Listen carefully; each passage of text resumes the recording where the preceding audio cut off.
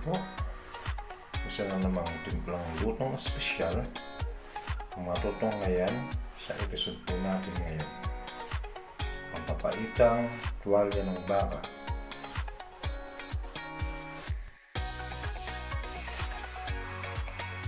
Para po sa ating mga ingredients o sangkap,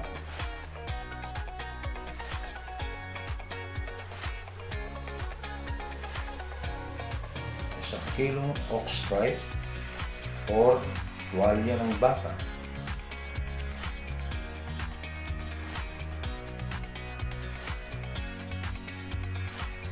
One piece big size onion or sibuyas.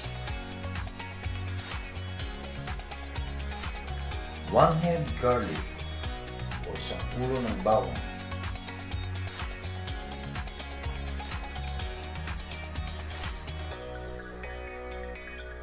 4 pieces chili green o pangsigang na sili.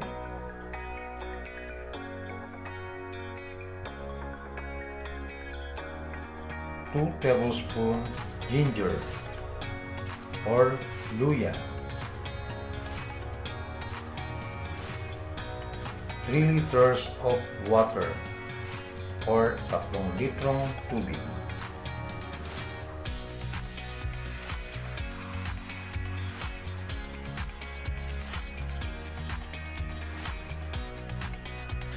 Two tablespoon salt, dalawang kutsarang asin, 1 teaspoon black pepper, isang kutsaritang paminta,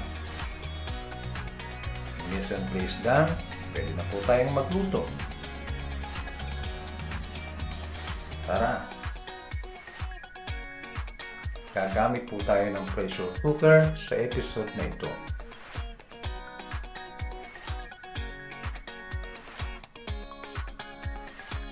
Isahin lamang po ang tuwalya ng baka sa ating pressure cooker. Tangkihan po natin ang tubig. Idagdag po natin ang isang litro pa ng tubig para po sa ating unang pagpapakulo.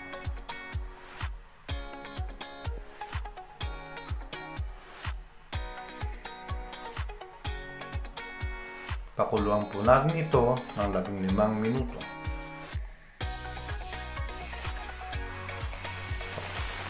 Pagkatapos pong pagkuluin, tatapon po natin ang ulang sabaw. Mapaw po na po natin na marami pong nakalutang na sebo. Sabi nga po, healthy cooking. Mag-ingat lang po tayo sa pagsasalin. Medyo delikado po ito. Sumunod pong hakbang ay ang pag-igisa. Igisa po natin ang bawang.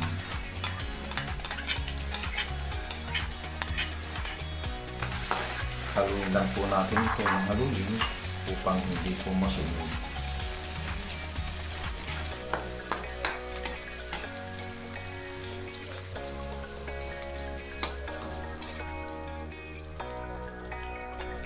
Sumunod po, ilagay na po natin ang sibuyas.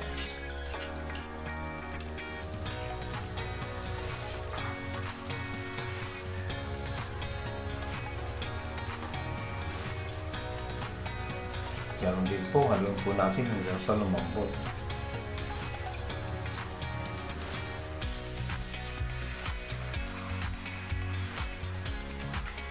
Sumunod po, ilagay na po natin ang ginger o ang luya. Patuloy rin po natin itong haluin hanggang sa lumambot po at maging light brown. Sumunod pong hakbang,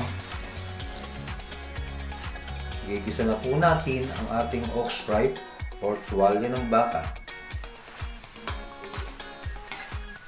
Patuloy po natin itong haluin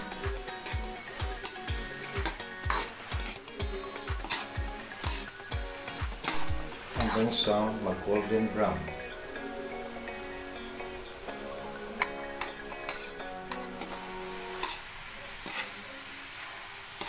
Iniiwasan din po natin na masunog ang ating oxide.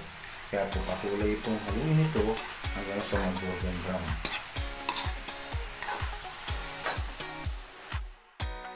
Pag nakita po natin na nagmamantika na ang ating oxide, ibig sabihin po nito, malapit na itong maluto. At pwede na po tayong dumako sa susunod na hakbang.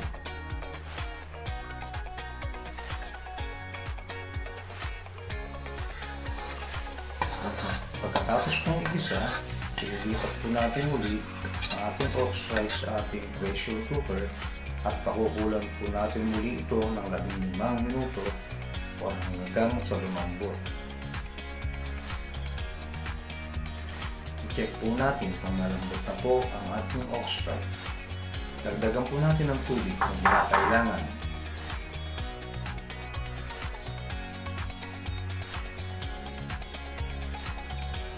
Sumunod po, ihalo na po natin ang ating chili green or siling verde. Ganon din po ang ating tamarind powder.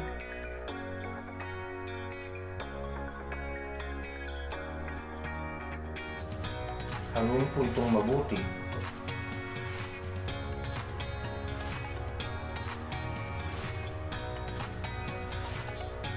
At isimmer po natin ito ng isang minuto. Ayan po.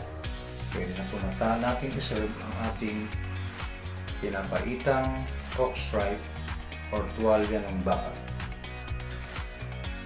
Salamat po sa inyong panunood. God bless.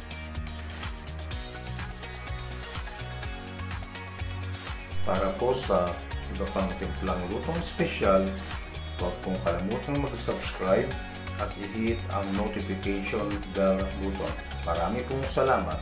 God bless po.